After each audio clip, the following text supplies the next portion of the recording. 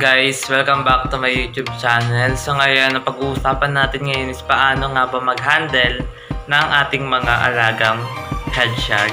So, kung bago ka pa lang sa aking channel, huwag mo na kalimutan mag-like, mag-comment at mag-subscribe sa aking YouTube channel para ma-update ko kayo sa panabagong video.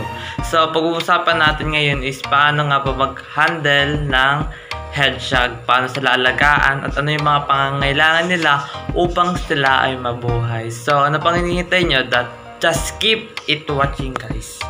Guys, nandito kami sa room ng hedgehog.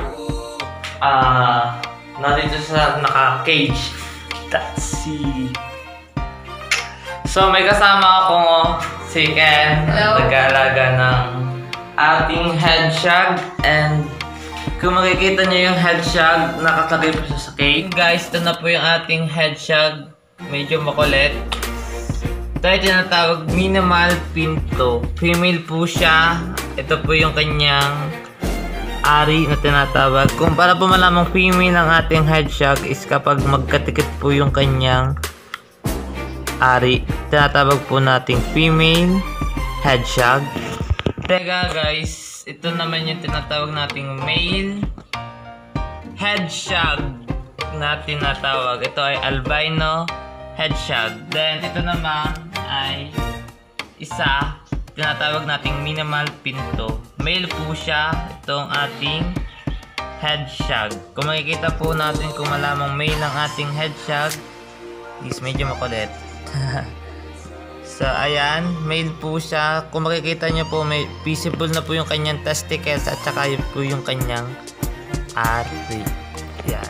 May, albino hedgehog po siya. Guys, nandito na kaming tatlo nag titingin ng hedgehog. Ayan na silang dalawa. Pangalan nito ay si Peter. At ang pangalan ng isa ay si Koa. si Koa. Dalawa sila. So, update namin itong dalawang ito is magkapatid. Kaya kung may magkapatid kayong hedgehog, huwag niyo siyang ipag-breed kasi nga bawal ang magkapatid kapag nag-breed. Bibili pa kami ng pair nitong dalawang ito para maging okay at hindi may, para maiwasan namin yung inbreeding ng hedgehog. So, tuturo ko naman sa inyo kung paano alagaan ng hedgehog at anong mga pangangailangan nila para sila ay mabuhay. Pangailangan sa pag-aalaga ng hedgehog, unang-una is kung wala pa kayong masyadong kakayan ng bumili ng cage, meron pa tayong planggana sa bahay like this, tong kulay blue.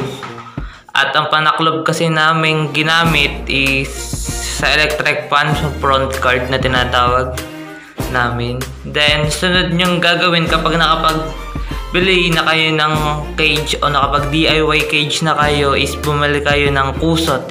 Itong kusot namin is medyo okay pa naman yung kusot. Pero kung mas maganda, bumili kayo ng kusot na mas malambot. Yan, hedgehog namin dalawa. So, padalawa namin, kapag nakabili na kayo ng kusot, ng cage, is bumili kayo ng tinatawag naming water bottle. Mura lang to guys. Ang price nito ay 77 pa. Ayan o, nakalagay pa yung price. Yan. Lalagay pa namin tong water bottle dito sa screen. At shoutout nga pala dun sa pinagbilan namin ng hedgehog ng taga Kalapan Oriental Mindoro na si Joshua Manalo. So, ako nga pala, si Ken Ryan Bautista. Papaliwanag natin ngayon kung anong pwede nyo pakain at pwede nyo treat sa ating mga hedgehog. So, totally number one, ang dog food. So, karaniwang ginagamit nila ng dog food is bawaw. Kailangan daw kasi ng mga hedgehog ng high protein dog food. Ang gamit kasi, ang nasa atin kasi ngayon is top breed. Kasi ang top breed, low protein dog food siya. Pero, kung low protein naman ang gamit ng dog food, pwede din namang treats gaya ng superworms o kaya dubia, dubia, dubia cockroach. Yan, yan sila. Pwede silang ipakain sa ating mga alagang hedgehog. At ang pangatlong kailangan natin gawin is water bottle. Siyempre, kailangan may tubig, kailangan naka-steady lang, at kailangan lagi silang nainom. So, ayun guys, lalagyan na namin yung mga pagkain na kailangan ng ating mga head shag. So, lalagyan na natin to. Lalagyan na natin to front card ng harap na parang parang kasi. So, ito guys, lalagyan na natin siya dito. Medyo itong itong headshot ay medyo scary, medyo natatakot. Kaya napapansin niyo yung headshot natin, nabidog siya. Ganun talaga yung behavior ng headshot kapag natatakot siya, nabidog siya. Upang maprotektahan nila yung kanilang mga sarili. Kasi guys, itong, tusok-tusok nila is nakakasugat din yan kapag hindi ayos yung carrying nyo ng ating mga headshot. Then, tatakbo pa na natin siya. So, ang sunod naman is water bottle.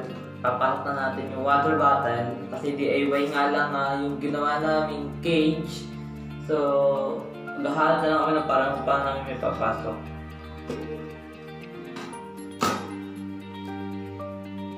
So, ayun. Nakikabit na natin yung ating water bottle. So, ito na yung mga headshot natin. Nandun sa na dalawa. Ulitin ko, ito yung tinatawag natin minimal pinto. At yung isa is albino headshot. Then, napakita ko naman sa inyo kung paano yung gender ng male at female na headshot.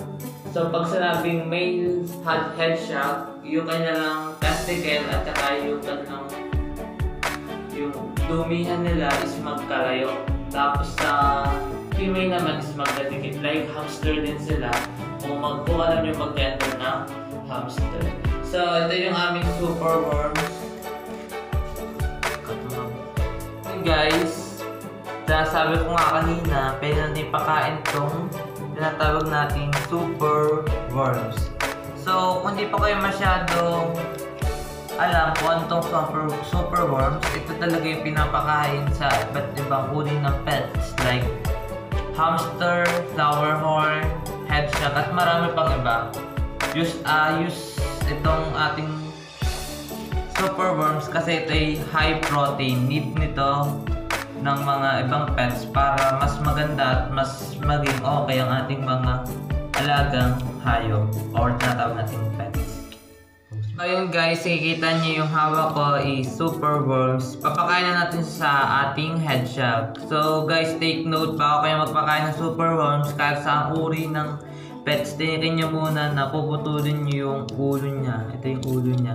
Kailangan puputulin muna natin yung ulo ng ating headshot bago tayo magpakain o bago natin ibigay sa ating mga headshot ang super worms o kahit sa ang pets. Kasi yung ulo nito is medyo matalas.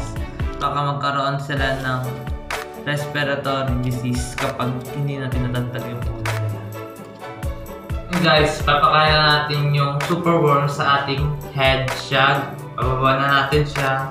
At ilalagay na natin itong super worm. Yung super worms na is patukpugot na yung ulo niya at safe na sa pagkain sa ating head. Shag tignan natin kung kakainin niya yung ating super worms.